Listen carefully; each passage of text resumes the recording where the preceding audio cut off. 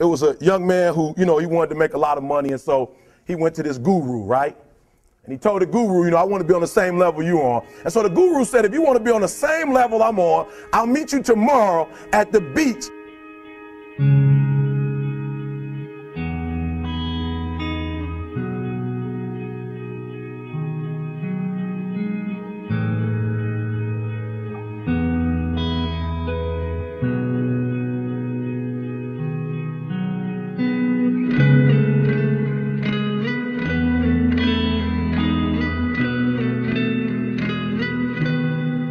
So the young man got there at 4 a.m. He all ready to rock and roll, got on the suit, should have wore shorts. The old man grabs his hand said, how bad do you want to be successful? He said, real bad. He said, walk on out in the water.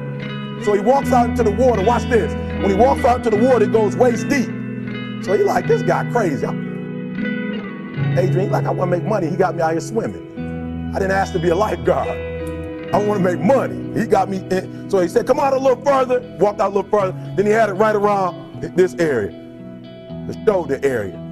So this old man crazy. He making money, but he crazy. He said, come on out a little further. Came out a little further. It was right at his mouth. My man like, I'm about to go back in here. This God is mine. So the old man said, I thought you said you wanted to be successful. He said, I do. He said, walk a little further. He came, dropped his head in, held him down, hold him down. My man getting scratching, holding him down. He had him held down just before my man was about to pass out. He raised him up. He said, I got a question for you. He told the guy, he said, when you want to succeed as bad as you want to breathe, then you'll be successful.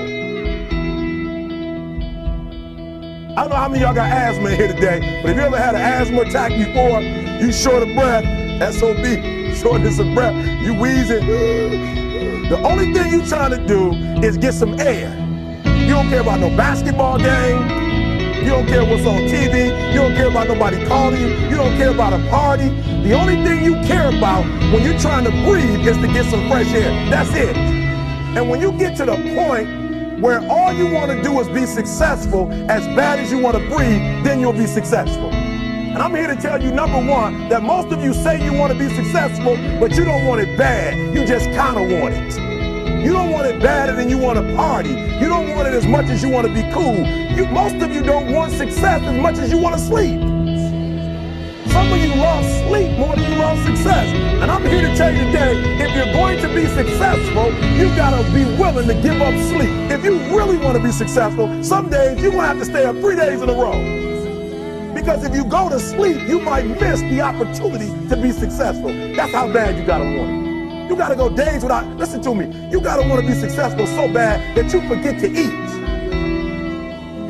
Beyonce said once she was on the set doing her thing, three days had gone by, she forgot she didn't eat because she was engaged.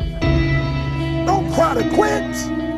You already in pain, you already hurt. Get a reward from it. Don't go to sleep until you succeed. Listen to me. I'm here to tell you today that you can come here, you can jump up, you can do flips, you can be excited when we give away money. But listen to me, you'll never be successful until I don't have to give you a dime to do what you do. You won't be successful until you say, I don't need that money. Because I got it in here.